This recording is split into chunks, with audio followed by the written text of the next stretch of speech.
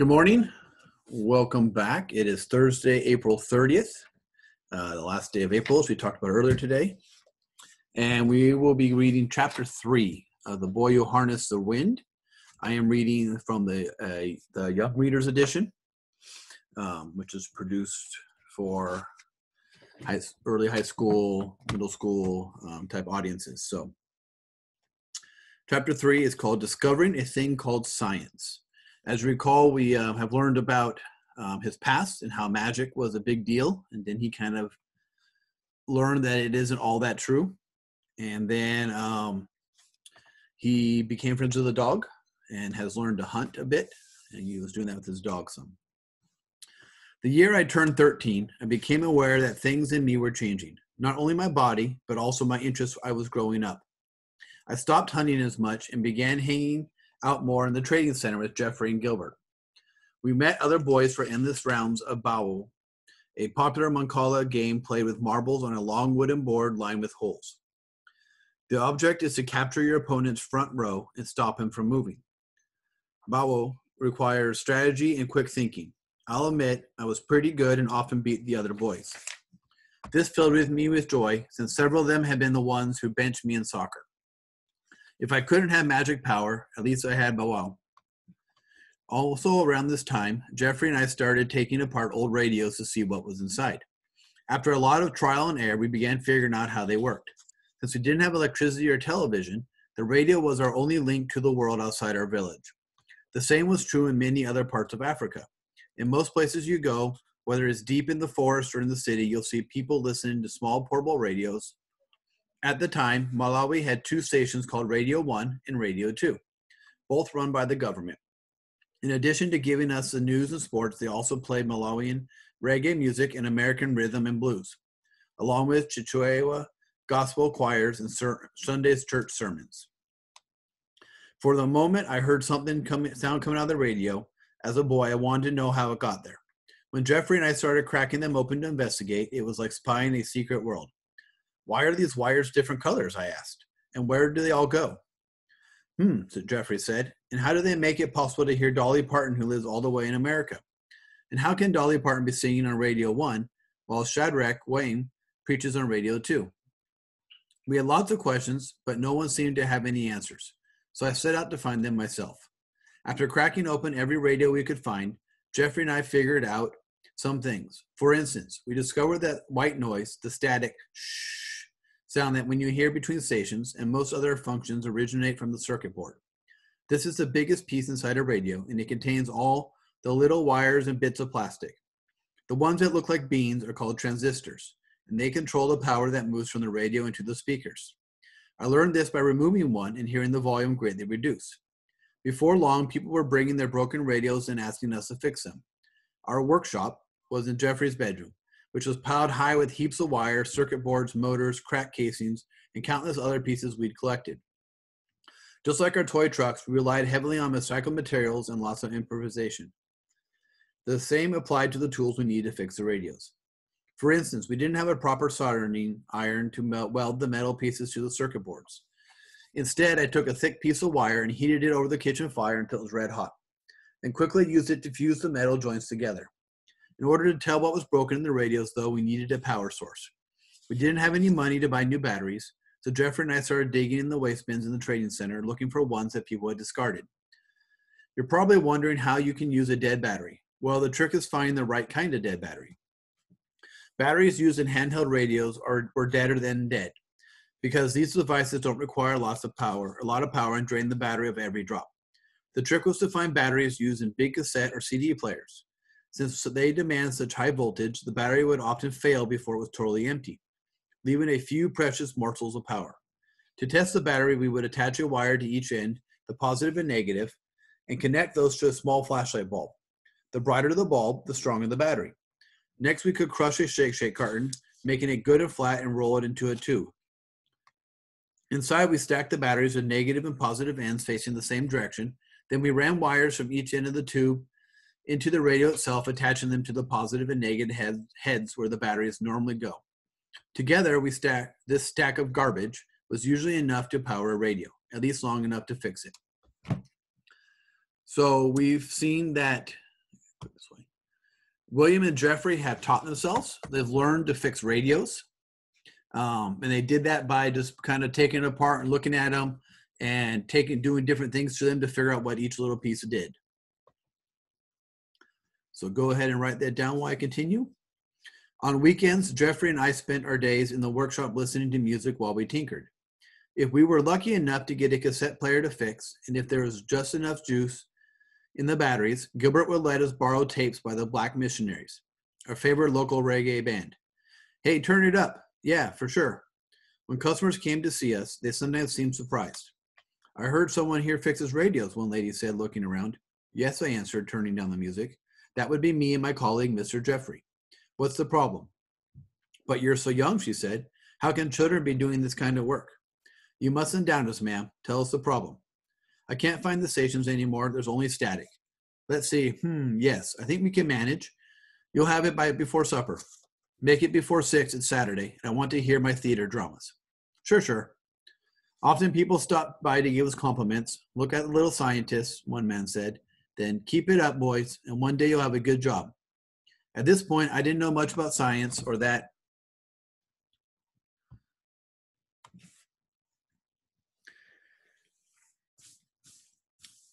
uh, most or that you doing science could be a job. But I was becoming more and more curious about how things worked. For instance, how did petrol make a car's engine work? Why was this foul-smelling liquid so important? Easy, I thought. I'll just ask someone with a car. In the training center, I began flagging down truck drivers. What makes this truck move? I asked them. How does it work? But no one could tell me. They just smile and shrug their shoulders. Really, how can you drive a truck and not know how it works. Even my father, who I thought knew everything, was stumped. The petrol burns and releases fire, and, well, I'm not really sure. Compact disc players were just becoming popular in the air area, and these things really fascinated me. I watched people insert the shiny little wheel, press a button, and suddenly hear music. How in the world, I wondered. How do they put songs on that disc, I'd ask. Who cares, the people, people would answer. My neighbors in the trading center seemed happy to enjoy their cars and CD players without explanation, but not me. I was filled with a desire to understand, and the questions never stopped coming. If finding these answers was the job of a scientist, then I wanted to be one. Of all the things to be curious about, what intrigued me the most was dynamos. They looked like small metal bottles and attached to the wheel of a bicycle. I always seen them around Wimbe, but never knew what they did. That is until my father's friend rode up one evening with a headlamp shining from his handlebars. As soon as he jumped off, the light disappeared. Hey, what made the lamp go off? I asked. I didn't see him flip a switch or anything. The dynamo, he said. I stopped pedaling. I waited for him to go inside, then jumped on his bike to investigate. Sure enough, the light came on as soon as I started pedaling around the courtyard. I flipped the bike upside down and traced the wires from the headlamp all the way back to the tire, to the back tire, where the dynamo was attached. It had its own little metal wheel at the top that pressed against the rubber. When the tire spun, so did that wheel. There, then there was light. I couldn't get this out of my head. How did a spinning metal wheel create light? The next time the man came to visit, I flipped the bike over for another look. This time I noticed the wires had come loose from the lamp. While the tire was spinning, I accidentally brushed the bare end of the wire against the metal handlebar and saw a spark. Aha, my first clue. I called over my trusted colleague, Mr. Jeffrey, Bambo, bring me one of our radios, I said. One that works. I'm just onto something big. Sure, sure. Just like with our battery test, I connected the two wires from the dynamo to the positive and negative heads in the radio where the batteries normally go. Okay, Jeffrey, now start pedaling. when Jeffrey spun the wheel, nothing happened. So I took the wires out of the radio and reattached them to the headlamp. When Jeffrey pedaled, the light flickered on. Mr. Jeffrey, my experiment shows that the dynamo and the bulb are, are both working properly. So why won't the radio play? Hmm, he said. Try sticking the wire somewhere else. He pointed to a little socket in the radio labeled AC. Try here, he said. Lo and behold, when I jammed the wires inside, the radio came to life. Tonga, we shouted. I pedaled the bicycle as Billy Kaunda sang his happy music on Radio 2. Jeffrey became so excited that he started to dance. Keep pedaling, he said. This is one of my favorite songs. Hey, but I want to dance too. Without realizing it, Jeffrey and I had discovered something called alternating and direct current. Of course, we wouldn't know its true meaning until much later, But while I was cranking the pedals so hard that my arm became tired, I kept wondering, what can what can do the pedaling for me so that both of us could dance? Well, the answer was electricity. The dynamo had given me a small taste of this magical thing, and I soon became determined to try and make some of my own. Many of you have probably been saying, but doesn't everyone have electricity?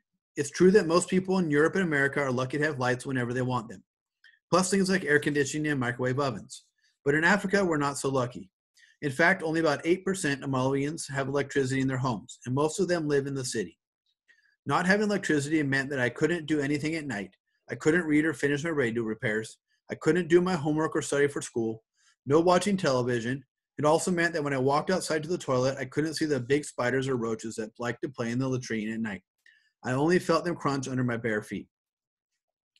So the second thing that's of importance is that William has discovered a dynamo and kind of figured a little bit how they work.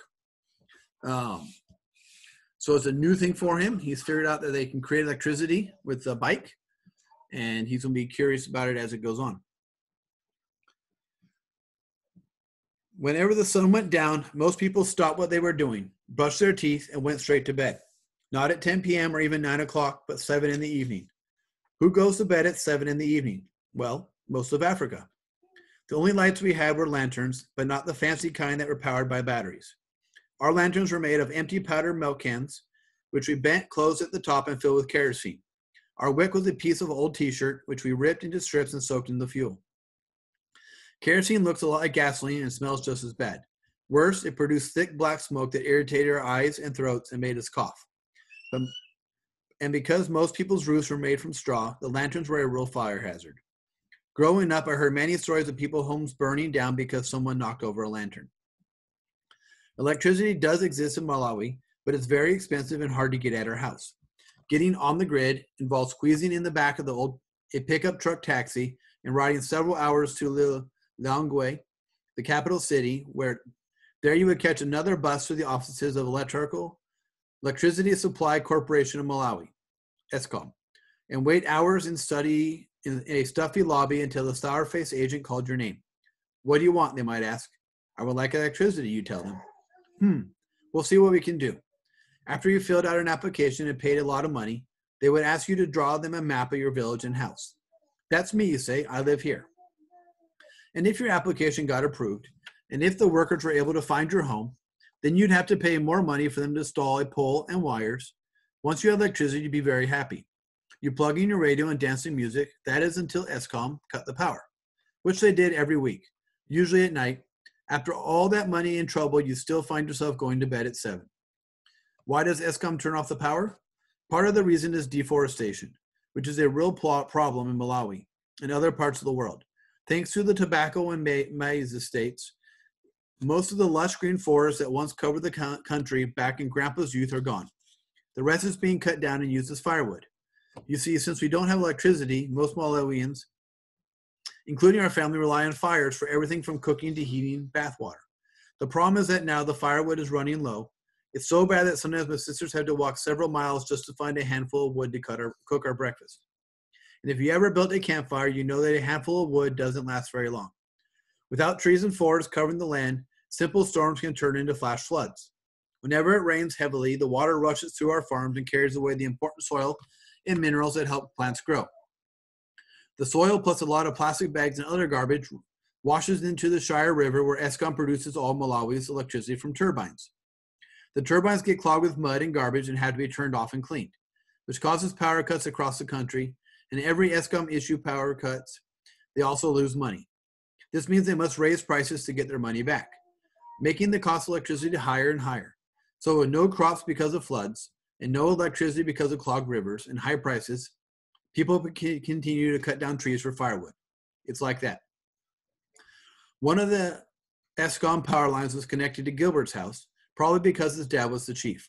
The first time I went there as a boy, I couldn't believe what I saw. Gilbert walked into the living room, touched the wall, and, the, and a light came on. Just by touching the wall? Of course, now I know that he really flipped a light switch. But after that day, I started thinking, why can't I touch the wall and get light?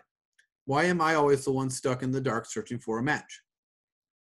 I knew that bringing electricity to my village was going to take more than just a bicycle dynamo. or any wizard's best magic. In any way, my family couldn't afford to buy either of those things. But I did have one bit of hope. I would soon be taking my final exams to leave primary school. If I passed and advanced to secondary school, what kids in America call middle school, I knew I'd be studying more science. Several schools had special science programs where students got to work on all kinds of experiments. If I could get into one of those places, perhaps my dream of becoming a scientist would become would come true. My current school, Wimbe Primary, certainly didn't seem like a place where scientists come from. It was lo- located down the wooded trail from Gilbert's house, just opposite the mosque. It was a community school supported by the government, and the conditions were quite shabby. The iron sheets on the roof were full of holes, and when it rained, the water poured down on us. The rooms were small for the large numbers of students, and some classes were held outside under trees. With all the trucks going past, plus the birds, insects, and people walking around, it was impossible to concentrate. The administrators didn't provide us with lesson books of our own. The teachers always ran out of chalk, and most students never owned a pencil. Ask any child in Malawi to spell their name or give the sum of two times two, they probably scribble the answer in the dirt with their finger. Another problem at Wimbe was were the toilets. Just a few grass huts with a deep hole covered with logs. It didn't take long for the termites to make their nests inside those logs and eat them hollow. One afternoon, they finally collapsed with my classmate Angela squatting atop them. Several hours passed before someone heard her crying from the slimy bottom and helped her out. She was so traumatized that we never saw her again.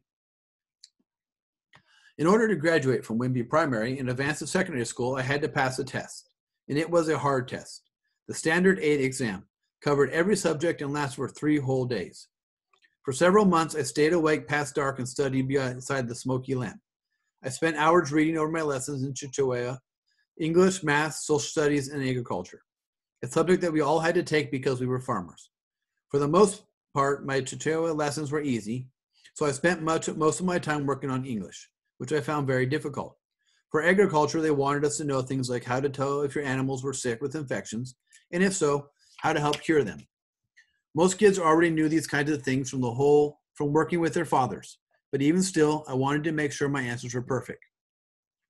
I took the test in mid-September. For three torturous days, I bit my nails over equilateral triangles and circumferences, and whether amprol or iodine was the right kind of medicine for a chicken with blood in his poop. I was a bundle of nerves by the time I finished, but I felt confident. The only bad part was that was that the grades wouldn't be announced for another three months, leaving me with a lot of time to worry. All right, we'll get our last note. Williams taking he takes his exam to go to secondary school, uh, basically like our middle school, as he said. And his goal, his hope is that when he goes there by by getting passing the test, he'll to actually take more science class and be able to learn more about the science stuff he's interested in. So a little bit more. We'll finish the chapter while you write that down. Unlike in America, secondary school wasn't free. It cost money to attend, and because of that, most kids in Malawi didn't even bother going. My older sister Annie was already halfway finished with her schooling, and I couldn't wait to have my own chance. Another exciting thing about upper grades was getting a new uniform. Soon I could ditch the little boy shorts required for younger children and walk tall in trousers. Once my exam was over, I waited for Gilbert to finish. No more short pants for us, I said when he appeared. That's right. Until we start school again, our mornings are free. What shall we do? Let's get Kamba and go hunting, I said. It's been too long. Yeah, for sure. We were halfway home when Kamba met us on the t- trail, tail wagging as if he heard my every word. That afternoon, the three of us hunted for hours until the yellow sun sank behind the highlands. With our sacks full, we walked home under an orange dusk and made a great fire in the courtyard, cooked our birds, and ate like men. All right, that's the end of chapter three. So we will find out um, hopefully shortly if you pass the exam and if you'll get to go to secondary school.